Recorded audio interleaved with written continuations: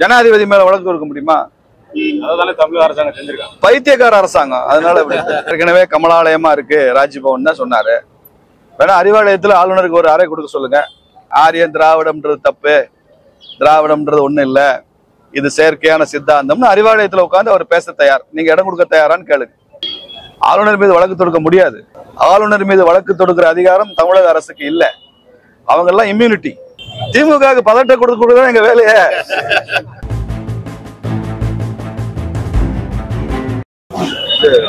ஆளுநர் ஆளுநர் மாளிகை வந்து பாஜகவோட அலுவலகம் மாதிரி செயல்படுதுன்னு சொல்லி முதல்வர் சொல்லியிருக்காங்க. அவர் முதல்வர்கிட்ட வேற என்ன எதிர்பார்க்கறீங்க அவர்? அவர் அப்படிதான் சொல்லுவாரு. ஏற்கனவே கமலாலயமா இருக்கு ராஜ்பவன் தான் சொன்னாரு.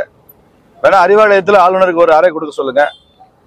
அறிவாலயத்துல ஆளுநருக்கு ஒரு இடம் கொடுத்தாங்கன்னா இப்ப ஆளுநர் தமிழகம் எல்லாம் சொல்லுக்கள் பேசி கொண்டிருக்கிற விஷயத்த அறிவாலயத்துல உட்கார்ந்து அதை பேசுவாரு. ஆரியன் திராவிடம்ன்றது தப்பு. திராவிடம்ன்றது ஒண்ணு இல்ல. இது செயற்கையான சித்தாந்தம்னு அறிவாலயத்துல உட்கார்ந்து அவர் பேச தயார். நீங்க இடம் கொடுக்க தயாரான்னு கேளுங்க. ஆளுநர் மீது வழக்கு தொடர்ந்திருக்காங்க அதை எப்படி பாக்குறீங்க ஆளுநர் மீது வழக்கு தொடுக்க முடியாது. சட்டம் தெரியாத யாரோ பைத்தியங்கள் இது பண்ணுது. ஆளுநர் மீது வழக்கு தொடுக்கிற அதிகாரம் தமிழக அரசுக்கு இல்ல. அவங்க எல்லாம் இம்யூனிட்டி இப்ப ஹைகோர்ட் ஜட்ஜ் இருக்காரு. ஹைகோர்ட் ஜட்ஜ் மேல வழக்கு தொடுக்க முடியுமா? போலீஸ்ல புகார் கொடுக்க முடியுமா? அவங்க எல்லாம் அந்த இம்யூனிட்டிக்குள்ள வருவாங்க. ஜனாதிபதி மேல வழக்கு தொடுக்க முடியுமா? பைத்தியக்கார அரசாங்கம். அதனால. ஆளுநர் மீது எப்படி வழக்கு தொடுக்க முடியும்? அவர் கான்ஸ்டியூஷனல் ஹெட் அவர். ஏற்கனவே எதிர்க்கட்சிகள் மற்றும் ஆளுங்கட்சி பரபரப்பான சூழ்நிலை இருக்காங்க. பாஜக வளர்ச்சியை பார்த்து. அப்படி இருக்கிற சூழ்நிலை வந்து இப்ப முதல் கட்டமா தேர்தல் பணியை தொடங்கிருக்கீங்க. இது அவங்களுக்கு ஒரு ஒரு பதட்டத்தை கொடுக்குற மாதிரி இருக்கு. திமுகவுக்கு பதட்டம் கொடுக்க கொடுக்க எங்க வேலைய? திமுகவை கம்ஃபர்ட் ஜோன்ல வச்சுக்கிறது சொகுசா வச்சுக்கிறதுக்கு பிஜேபி இல்ல. எங்களது ஒவ்வொரு செயலையும் பார்த்து அவங்க பதட்டம் அடைய தான் செய்வாங்க. ஏன்னா அவங்க பதவி காலி ஆகுதுல. தி- திமுகவை அரசியல்ல ஆட்சியை விட்டு அகற்றணும்னு நினைக்கிறோம். அதான் அதற்காக நாங்கள் என்ன செய்கிறோம்னு பார்க்கணும். நாங்கள் மக்களை தான் சந்திக்கிறோம்.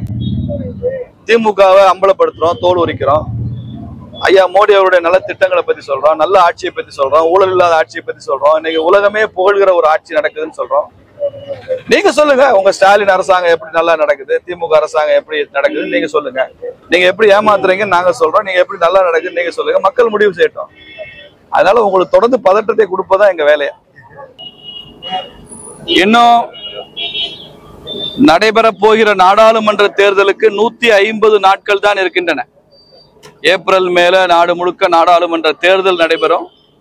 அதற்கு நூற்றி ஐம்பது நாட்கள் இருக்கின்றன.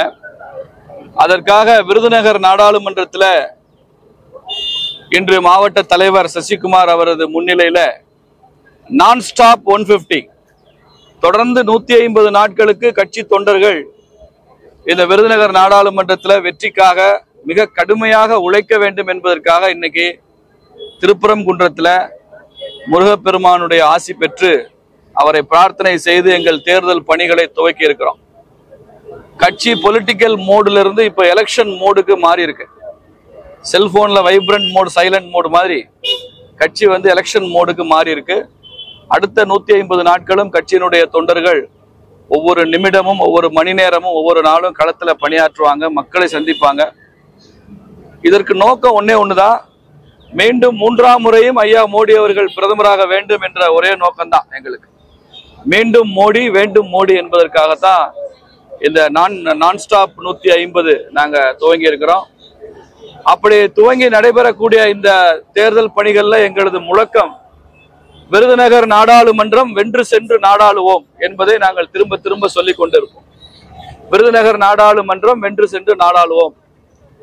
கூட்டணி வருமா? எந்த கட்சிக்கு எந்த இடஒதுக்கீடு? எந்த தொகுதி யாருக்கு? என்பதெல்லாம் தேசிய தலைமையும் மாநில தலைமையும் முடிவு செய்வாங்க. நாங்கள் அதற்கு முன்னதாகவே தேர்தல் பணியை ஏன் துவங்குகிறோம்னா தமிழ்நாட்டில் அனைத்து தொகுதிகளில் முப்பத்தொன்பது தொகுதிகளிலும் இருந்து வெற்றி பெறப் போகிற எம்பிக்கள் டெல்லியில சென்று அவர்கள் மோடியை ஆதரிப்பவர்களாக இருக்கணும். நாம யாருக்கு வாக்களிக்கிறோன்றது முக்கியம் இல்லை நாம ஓட்டு போட்டு தேர்ந்தெடுக்கிற எம்பி டெல்லிக்கு போனா அவர் அங்கே நரேந்திர மோடி ஐயா அவர்களை ஆதரிக்கிற எம்பிக்களை முப்பத்தொன்பது தொகுதிகளை உருவாக்க வேண்டும் என்பதுதான் நோக்கம். அதுல முன்னணியில இன்னைக்கு விருதுநகர் மாவட்டம் தமிழகத்திலே முதல் முறையாக முந்திக் கொண்டுள்ளது. மீண்டும் மோடி வேண்டும் மோடி என்றும் விருதுநகர் நாடாளுமன்றம் வென்று சென்று நாடாளுவோம் என்றும் புதிய முழக்கத்தை முன்வைத்து மக்களை சந்திக்க இருக்கிறோம். மத்திய அரசினுடைய ஐயா மோடி அவர்களுடைய நலத்திட்டங்களுடைய எல்லாம் அதனுடைய பயனாளிகளை எல்லாம் சந்திக்க இருக்கிறோம். சமுதாய தலைவர்களை சந்திக்க இருக்கிறோம் தொழிற்சங்கங்களை சந்திக்க இருக்கிறோம் தொழிலாளர் அமைப்புகளை சந்திக்க இருக்கிறோம் பெண்கள் பட்டியல் சமுதாயத்தை சார்ந்தவர்கள் இளைஞர்கள். இப்படி எல்லா தரப்பிலிருந்தும் பாரதிய ஜனதா கட்சிக்கு ஒரு மிகப்பெரிய ஆதரவு அதிகமாகி கொண்டிருக்கிறது தமிழ்நாட்டில்.